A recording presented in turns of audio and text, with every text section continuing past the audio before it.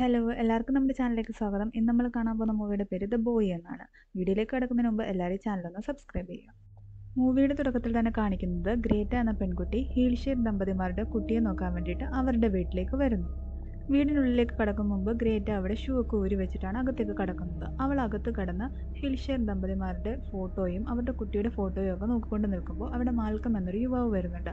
ആ വീട്ടിലേക്കുള്ള ഗ്രോസറീസ് കൊടുക്കുന്ന വ്യക്തിയാണ് മാൽക്കം അങ്ങനെ അവർ പരസ്പരം പരിചയപ്പെടുകയും ആ വീടിനെ കുറിച്ചൊക്കെ സംസാരിച്ചുകൊണ്ട് നിൽക്കുകയും ചെയ്യുകയാണ്. ആ ടൈമിൽ അവിടേക്ക് ഹൽഷർ ദമ്പതിമാർ വരുന്നു.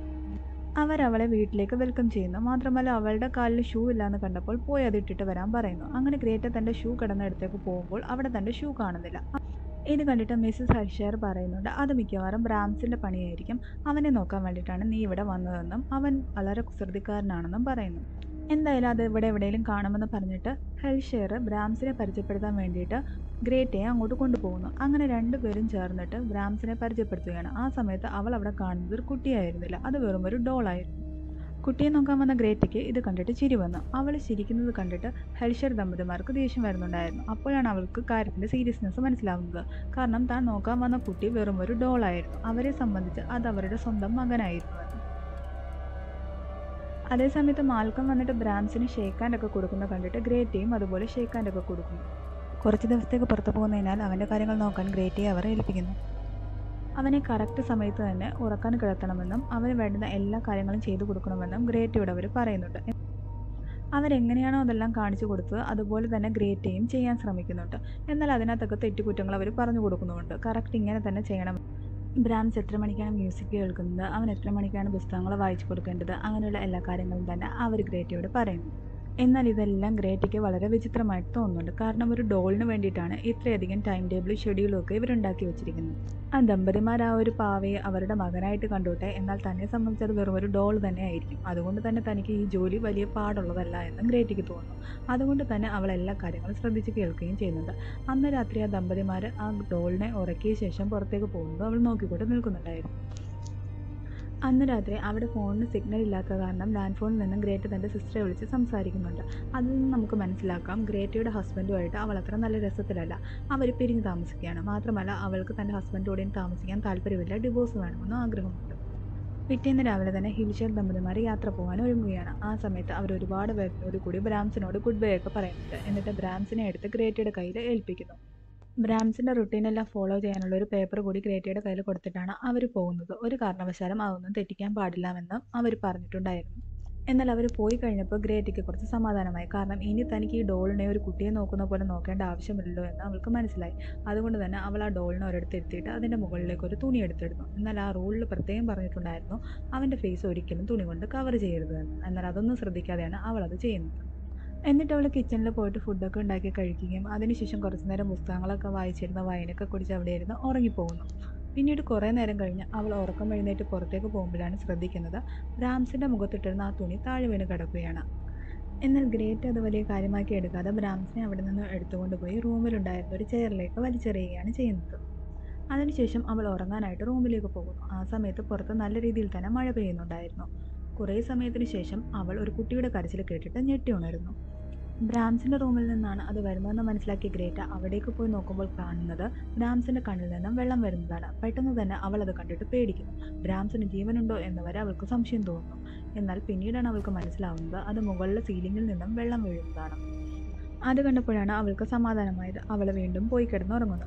പിറ്റേന്ന് രാവിലെ ഉറക്കം എഴുന്നേറ്റ് ജോലികളൊക്കെ തീർത്തിട്ട് ഗ്രേറ്റ് പുറത്തേക്ക് വരുമ്പോൾ മാൽക്കും അവിടെ വന്നിട്ടുണ്ടായിരുന്നു. പുതിയ ഗ്രോസറീസ് എല്ലാം കൊണ്ടുവന്ന് വെച്ച ശേഷം പഴകിയ ഫുഡൊക്കെ എടുത്ത് മാറ്റുകയായിരുന്നു മാൽക്കം. ആ ടൈമിൽ ഗ്രേറ്റ് മാൽക്കമിനോട് ചോദിക്കുന്നുണ്ട് ഈ ഡോളിനെ പറ്റി? അപ്പോഴാണ് മാൽക്കം ബ്രാംസിന്റെ യഥാർത്ഥ കഥ പറയുന്നത്. ബ്രാംസിന്റെ എട്ടാമത്തെ ബർത്ത്ഡേയുടെ അന്നായിരുന്നു അവൻ മരിക്കുന്നത്. വീടിനുള്ളിൽ വെച്ചുണ്ടായ ഒരു തീപിടുത്തത്തിലായിരുന്നു ബ്രാംസ് മരിക്കുന്നത്. അതിനുശേഷം ഈ ദമ്പതിമാർ ആ ഒരു പാവയാണ് തന്റെ മകനായിട്ട് കണ്ടിരുന്നത്. ഇരുപത് വർഷമായിട്ട് ആ ഒരു പാവയെ അവർ തന്റെ ബ്രാംസ് ആയിട്ടായിരുന്നു കണ്ടുകൊണ്ട് വന്നിരുന്നതും അങ്ങനെയാണ് പരിചരിച്ചുകൊണ്ടിരിക്കുന്നതും. അതിനിടയിൽ മാൽക്കം ഗ്രേറ്റയോട് പറയുന്നുണ്ട് നിനക്ക് ഈ വീട്ടിൽ നല്ല രീതിയിൽ തന്നെ ബോറടിക്കുന്നുണ്ടെന്ന് എനിക്ക് മനസ്സിലാവുന്നുണ്ട്. അതുകൊണ്ട് തന്നെ ഇന്ന് നൈറ്റ് നമുക്ക് പുറത്ത് പോയി ഡിന്നർ കഴിക്കാമെന്നും നീ റെഡി ആയിരിക്കാം അങ്ങനെ അന്ന് നൈറ്റ് മാൽക്കമിന്റെ കൂടെ പുറത്തേക്ക് പോകാൻ വേണ്ടിയിട്ട് ഡ്രസ്സൊക്കെ എടുത്തു വെച്ചിട്ട് ഗ്രേറ്റ കുളിക്കാനായിട്ട് പോകുന്നു. അവൾ കുളിച്ചുകൊണ്ടിരിക്കുന്ന ടൈമിൽ അവളുടെ ഡ്രസ്സ് ആരോ മോഷ്ടിക്കുന്നതായിട്ട് നമ്മളെ കാണിക്കുന്നുണ്ട്. എന്നാൽ അത് ആരാണെന്ന് നമ്മളെ കാണിക്കുന്നില്ല. അതിൽ നിന്ന് നമുക്ക് വേണമെങ്കിൽ ഊഹിക്കാം. അത് ബ്രാൻസ് ആയിരിക്കാം. ചിലപ്പോൾ ബ്രാൻസിന്റെ ആത്മാവ് ആ വീട്ടിൽ ഉണ്ടായിരിക്കുന്നത് ഡ്രസ്സ് മാത്രമല്ല അവളുടെ മാലയും അത് മോഷ്ടിക്കുന്നതായിട്ട് കാണിക്കുന്നു. കുളി കഴിഞ്ഞ് വന്ന ഗ്രേറ്റ നോക്കുമ്പോൾ തന്റെ ഡ്രസ്സും മാലയൊന്നും കാണാത്തത് കണ്ടിട്ട് അവൾ പേടിക്കുന്നു. കാരണം തന്നെ കൂടാതെ ആരോ ഒരാൾ ആ വീട്ടിൽ കടന്നിട്ടുണ്ട് എന്ന് അവൾക്ക് തോന്നുന്നു. അവൾ അങ്ങനെ റൂമിലൊക്കെ പോയി നോക്കുമ്പോൾ ആരെയും തന്നെ കാണുന്നില്ല. അങ്ങനെ അവൾ പുറത്തിറങ്ങി നോക്കുമ്പോൾ കാണുന്നത് വീടിന്റെ മച്ചിലേക്കുള്ള കോണിപ്പടി ആരോ തുറന്നു വെച്ചിരിക്കുന്നതാണ്. അവൾ അങ്ങനെ അതിന്റെ മുകളിലേക്ക് കയറി നോക്കുന്നുണ്ട്. ഗ്രേറ്റ മുകളിലേക്ക് കയറിയതും പെട്ടെന്ന് തന്നെ ആ കോണിപ്പടി അടഞ്ഞു പോവുകയും ചെയ്യുന്നു അത് കാരണം അവൾക്ക് പുറത്തിറങ്ങാൻ സാധിക്കുന്നില്ല. അവൾ അവിടെയൊക്കെ രക്ഷപ്പെടാനുള്ള വഴി നോക്കുന്നുണ്ട്. എന്നാൽ ഒന്നും തന്നെ കാണുന്നില്ല. അതേസമയം അവളെ വിളിക്കാൻ വേണ്ടിയിട്ട് മാൽക്കും അവിടെ വന്നിട്ടുണ്ടായിരുന്നു. അവൻ വന്ന് കോളംബെൽ അടിക്കുന്നുണ്ടായിരുന്നുവെങ്കിലും ഗ്രേറ്റ് വന്ന് വാതിൽ തുറക്കുന്നില്ല എന്ന് കണ്ടപ്പോൾ അവൻ അവിടെയൊക്കെ തിരയാൻ തുടങ്ങിയിരുന്നു. എന്നാൽ അപ്പോഴൊന്നും ഗ്രേറ്റ് അവൻ കണ്ടില്ല. കാരണം ഗ്രേറ്റ് മുകളിൽ നിൽക്കുന്നത് അവന് കാണാൻ പറ്റില്ലായിരുന്നു.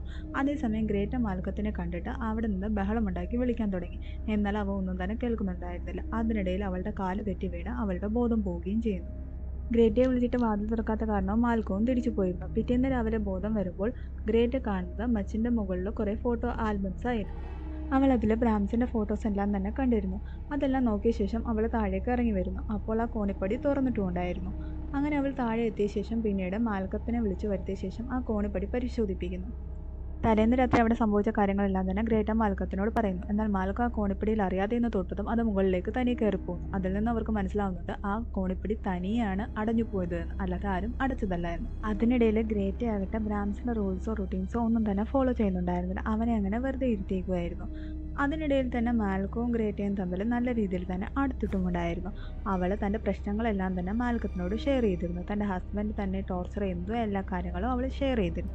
അന്ന് രാത്രി ബ്രഷ് ചെയ്തുകൊണ്ടിരിക്കുന്ന സമയത്ത് ഗ്രേറ്റയുടെ പുറകിൽ കൂടി ആരോ പോകുന്ന പോലെ അവൾക്ക് തോന്നിയിരുന്നു. അവൾ പെട്ടെന്ന് തന്നെ ഞെട്ടുന്നു. അവൾ പോയി ബ്രാംസിന്റെ റൂമിൽ നോക്കുമ്പോൾ ബ്രാംസ് എങ്ങനെ ഇരിക്കുന്നതാണ് കാണുന്നത്. അവൾ അതിന്റെ തല പിടിച്ച് ഒരു സൈഡിലേക്ക് തിരിക്കുന്നു. എന്നാൽ അതേ പോസിൽ തന്നെ ആ തല തിരിച്ചു വന്ന് അവളെ നോക്കുന്നതായിട്ട് അവൾക്ക് തോന്നുന്നു. അതേസമയം തന്നെ പെട്ടെന്ന് അവൾ പേടിച്ച് ഞെട്ടിക്കൊണ്ടിരിക്കുകയാണ്. കാരണം ഇതെല്ലാം അവളെ കണ്ട സ്വപ്നമായിരുന്നു. അവൾ ഉണർന്ന് പുറത്തേക്ക് പോയി നോക്കുമ്പോൾ തന്റെ കാണാതായ ഷൂസ് അവിടെ ഇരിക്കുന്നതായിട്ട് കാണുന്നത് ഇതിൽ നിന്നെല്ലാം ബ്രാംസ് അവിടെ ജീവനോടെ ഉണ്ടോ എന്ന് തന്നെ അവൾക്ക് ഡൗട്ട് തോന്നുന്നു. ആ ഭാവിക്കുള്ളിലെ ബ്രാംസ് ജീവിക്കുന്നു എന്ന് അവൾക്ക് തോന്നുകയും ചെയ്യുന്നുണ്ട്. ആ സമയത്താണ് ഗ്രേറ്റ പെട്ടെന്ന് ബ്രാംസിന്റെ സൗണ്ട് കേൾക്കുന്നത്. എന്തുകൊണ്ടാണ് നീ റൂൾസ് ഒന്നും ഫോളോ ചെയ്യാത്തത്? എനിക്ക് വേണ്ടി ഒന്നും ചെയ്യാത്തത്? എന്ന് ബ്രാംസ് ചോദിക്കുന്നത് അവൾ കേൾക്കുന്നു. അവൾ പെട്ടെന്ന് അവന്റെ റൂമിലെത്തുമ്പോൾ കാണുന്നത് ആ റൂൾസുമായിട്ട് അവിടെ ഇരിക്കുന്ന ബ്രാംസിനെയാണ് അവൾ പേടിച്ചു പോയി ഫോൺ എടുത്ത് മാൽക്കത്തിനെയൊക്കെ വിളിക്കാൻ ശ്രമിക്കുന്നുണ്ടെങ്കിലും ഒന്നും തന്നെ നടക്കുന്നുണ്ടായിരുന്നില്ല. പേടിച്ച് അവൾ റൂമിൽ തന്നെ അടച്ചിരിക്കുകയായിരുന്നു പുറത്താരോ നടക്കുന്നതായിട്ടൊക്കെ അവൾക്ക് തോന്നുന്നുണ്ടായിരുന്നു. അത് ബ്രാംസ് ആണെന്ന് അവൾക്ക് മനസ്സിലായി. എന്നാൽ ബ്രാംസ് അവളെ ഉപദ്രവിക്കുകയോ ഒന്നും തന്നെ പറയുകയോ ചെയ്യുന്നുണ്ടായിരുന്നില്ല. അവൾക്ക് വേണ്ടിയിട്ട് ഫുഡ് കൊണ്ടുവച്ചിട്ടാണ് അവൻ പോയത്. അപ്പോൾ അതിൽ നിന്ന് അവൾക്ക് മനസ്സിലാവുന്നുണ്ട് ബ്രാംസ് ആ പാവയ്ക്കുള്ളിൽ ജീവിക്കുന്നുണ്ട് തന്നോട് വലിയ സ്നേഹമാണ് എന്നൊക്കെ. അവൾ ബ്രാംസിന്റെ അടുത്ത് പോയിരുന്ന് അവനോട് സംസാരിക്കുന്നുമുണ്ട്. എന്നിട്ട് തന്നെ കാണുന്നുണ്ടോ എന്നൊക്കെ ചോദിക്കുന്നുമുണ്ട്. എന്നാൽ അതിൽ നിന്ന് ഒരു രീതിയിലുള്ള അനക്കവും ഉണ്ടാവുന്നില്ല. അവൾ എന്നിട്ട് മാലക്കത്തിനെ വിളിച്ചിട്ട് ഈ കാര്യങ്ങളൊക്കെ പറയുകയും ചെയ്യുന്നുണ്ട്. അതേസമയം സീൻ ഇവിടുന്ന് കട്ടായിട്ട് നമ്മളെ കാണിക്കുന്നത് ഹീൽഷർ ദമ്പതിമാരെയാണ്. അവർ യാത്ര പോയിരുന്നു എന്ന് തുടക്കത്തിൽ കാണിച്ചിരുന്നല്ലോ. അവരൊരു സ്ഥലത്തിരുന്നിട്ട് ബ്രാംസിന് വേണ്ടിയിട്ട് ഒരു ലെറ്റർ എഴുതുകയാണ്. തങ്ങൾ പോവുകയാണെന്നും ഇനി തങ്ങൾ ഒരിക്കലും തിരിച്ചു വരികയില്ല എന്നും നിന്റെ കാര്യങ്ങളെല്ലാം ഗ്രേറ്റ നോക്കൂ എന്ന് പറഞ്ഞിട്ട് മാൽക്കത്തിന് ഒരു ലെറ്റർ എഴുതി വെച്ച ശേഷം അത് അയച്ച ശേഷം അവർ ആത്മഹത്യ ചെയ്യാൻ ഒരുങ്ങുന്നതാണ് നമ്മളെ കാണിക്കുന്നത്. അവർ രണ്ടുപേരും ഒരു പുഴയിലേക്ക് ഇറങ്ങി മരിക്കുകയും ചെയ്യുന്നു. അതേസമയം ഇതൊന്നും അറിയാതെ ഗ്രേറ്റ ആകട്ടെ ബ്രാംസിന്റെ എല്ലാ റൂൾസും ഫോളോ ചെയ്യാൻ തീരുമാനിക്കുന്നു. അവൾ റൂൾസ് അനുസരിച്ച് അവനെ ഡ്രസ്സൊക്കെ ചെയ്യിപ്പിച്ചിട്ട് അവനെ കൊണ്ടിരുത്തി മ്യൂസിക് കേൾപ്പിക്കുകയും മാത്രമല്ല പുസ്തകങ്ങൾ വായിച്ചു കൊടുക്കുകയും അങ്ങനെ എല്ലാം തന്നെ ചെയ്തു കൊടുക്കുന്നു. രാത്രിയിൽ അവനെ ഉറങ്ങാൻ കിടത്തിയ ശേഷം അവൾ റൂൾസ് നോക്കുമ്പോൾ അതിൽ ഗുഡ് നൈറ്റ് കിസ് പറഞ്ഞിട്ടുണ്ടായിരുന്നു. അങ്ങനെ അവൾ ബ്രാംസിനെ കിസ് ചെയ്യുകയും ചെയ്യുന്നുണ്ട്. പിറ്റേന്ന് രാവിലെ മാൽക്കം വരുമ്പോൾ ഗ്രേറ്റ ബ്രാംസിനെ ഹെലിഷർ ദമ്പതിമാർ എങ്ങനെ നോക്കിയിരുന്നോ അങ്ങനെ തന്നെ നോക്കുന്നത് കണ്ടിട്ട് മാൽക്കത്തിന് വളരെ അത്ഭുതം തോന്നുന്നുണ്ട്. അവൾ പറയുന്ന കാര്യങ്ങളൊന്നും തന്നെ അവൻ വിശ്വസിക്കുന്നുമുണ്ടായിരുന്നില്ല അവൻ പോയി കഴിയുമ്പോൾ ഗ്രേറ്റ ബ്രാംസിന് വേണ്ടിയിട്ട് ഫുഡ് എടുത്തിട്ട് അവന്റെ ഫ്രണ്ടിൽ വെക്കുന്നുണ്ട്. എന്നാൽ കുറച്ച് നേരം നോക്കിയിരുന്നിട്ടും അവന്റെ ഭാഗത്തുനിന്ന് ഒരനക്കവും ഉണ്ടാവുന്നില്ല. അത് കാരണം അവൾ ആ ഫുഡൊക്കെ എടുത്ത് കളയുന്നു. എന്നിട്ട് തിരിഞ്ഞു നോക്കുമ്പോൾ അവൾ ശരിക്കും ഞെട്ടിപ്പോകുന്നു. കാരണം ബ്രാംസ് ഇരുന്നെടുത്ത് ബ്രാംസ് ഉണ്ടായിരുന്നില്ല. അവൾ ഹാളിലേക്ക് പോയി നോക്കുമ്പോൾ ബ്രാംസ് അവിടെ ഇരിക്കുന്നതാണ് അവൾ കാണുന്നത്. ഇതിൽ നിന്ന് അവൻ സ്ഥാനം മാറുന്നു എന്ന് അവൾക്ക് മനസ്സിലാവുന്നുണ്ട്. അവൾ പെട്ടെന്ന് തന്നെ മാലക്കത്തിനെ വിളിച്ച ശേഷം ബ്രാംസ് ഇങ്ങനെ സ്ഥാനം മാറുന്ന കാര്യം പറയുന്നു. എന്നാൽ അവനത് വിശ്വസിക്കുന്നില്ല. അതിനു വേണ്ടിയിട്ട് അവൾ തെളിയിക്കാൻ വേണ്ടിയിട്ട് അവനെ ഒരിടത്ത് ഇരുത്തിയ ശേഷം ചോക്കുകൊണ്ട് ആ സ്ഥലമെല്ലാം വരയ്ക്കുന്നു.